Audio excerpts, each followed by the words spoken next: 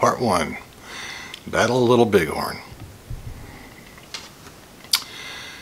Because social and political climates have affected how scholars and myth makers have viewed the Michigan cavalry officer, Custer as a leader is hidden behind images in popular culture.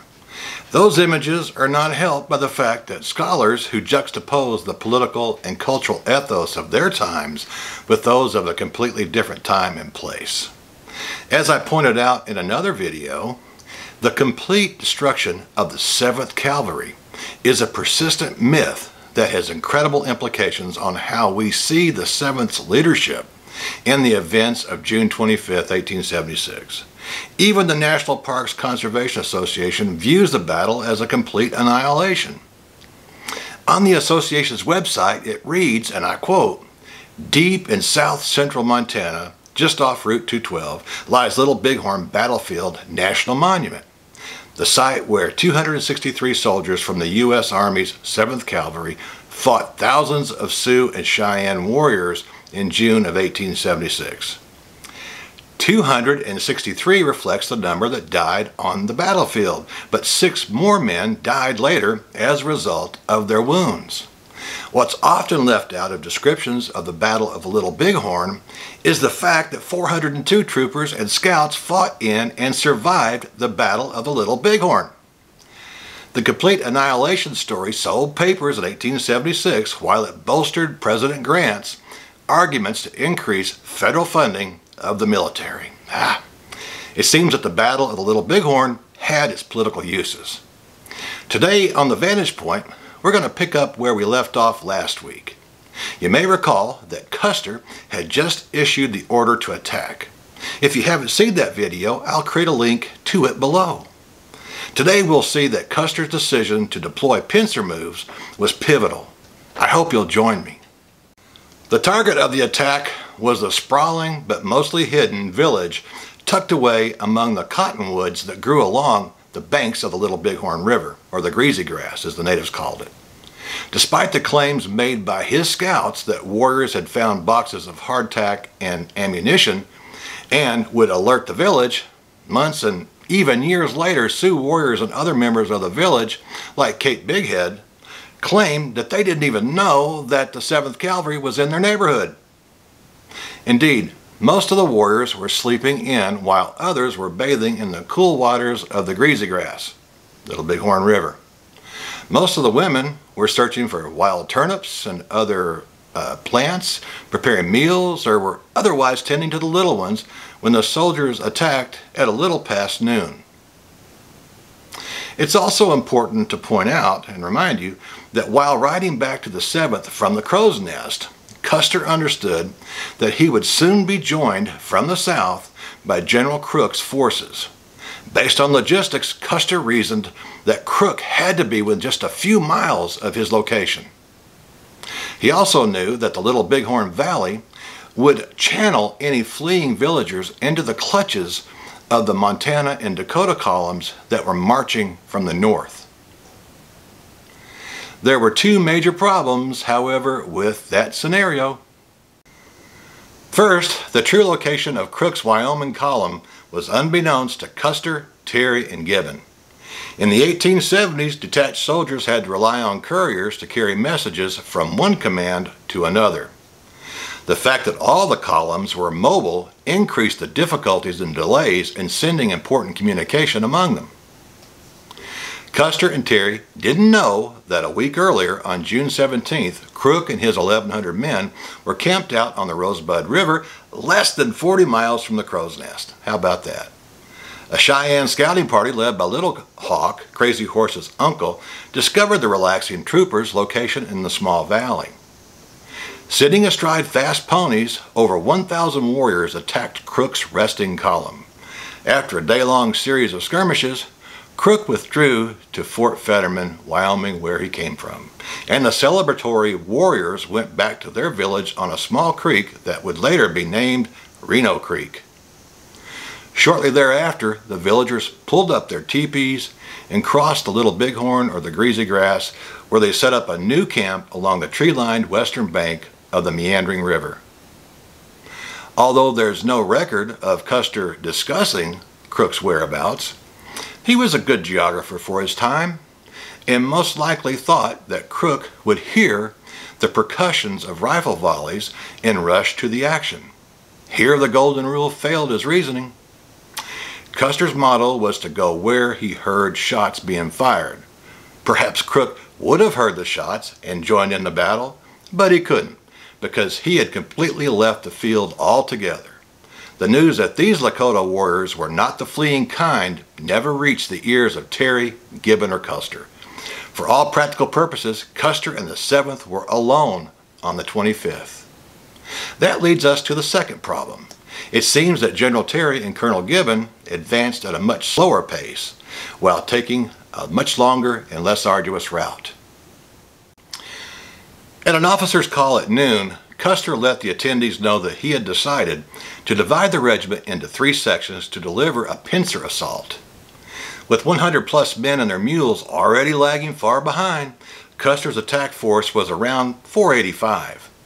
Perhaps in keeping to General Terry's order to continue, to continue southward, Custer sent Benteen and three companies, numbering 125, south and west of the Little Bighorn Valley. By doing this, Custer hoped to cut off any fleeing women and children who might make a break for the Wolf Mountains. His immediate command was then down to 385 troopers. At about a mile and a half from the village and near a creek that emptied into the river, the same creek that would later be named for Major Marcus Reno, Custer sent Reno and 140 men across the river to initiate a southerly attack on the village. Based on observations made by Lieutenant Godfrey, it must have been around a quarter to one when Reno left the command. Custer took the remaining 220 men and rode northeast along the ridge that paralleled the meandering river. The general apparently intended to join the attack north of Reno's assault.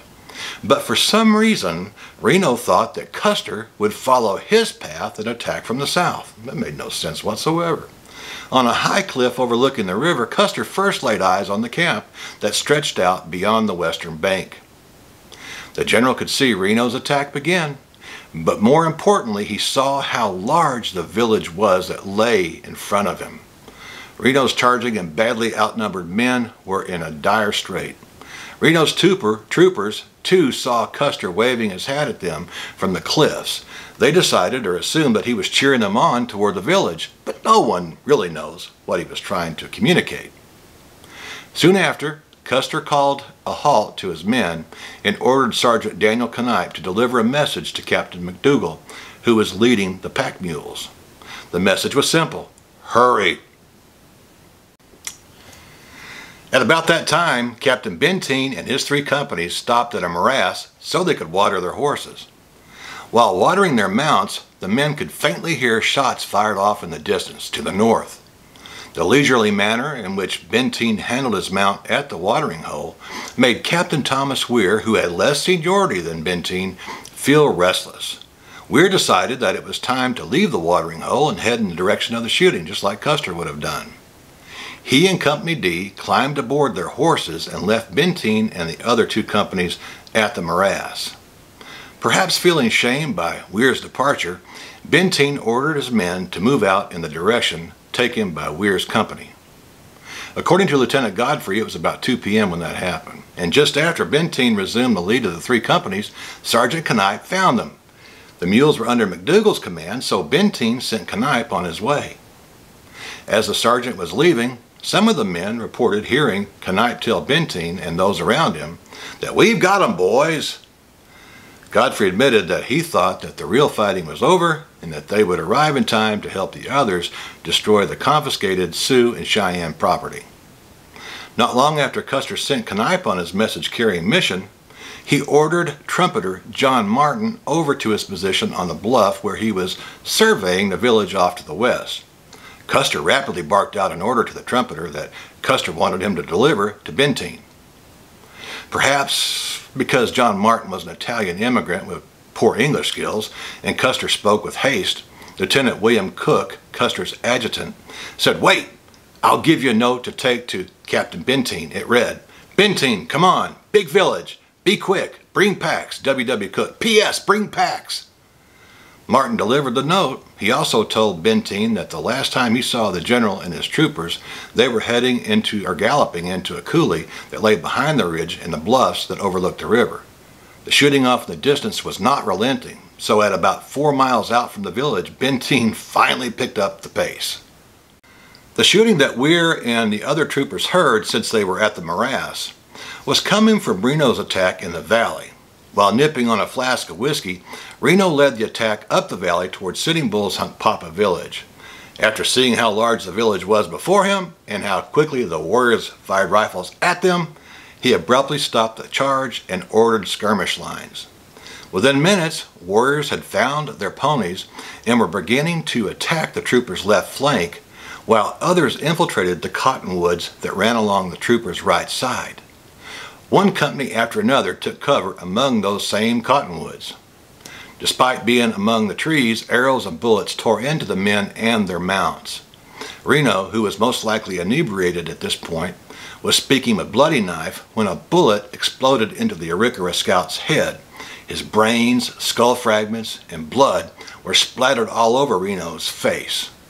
In a panic, the major lost his blood-splattered hat and ordered his troopers to mount and then dismount.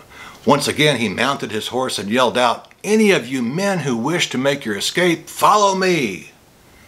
Without ordering a retreating cover fire, the major broke out of the timbers and rode south as fast as his mount could go toward the ford through which they had crossed some 30 minutes earlier.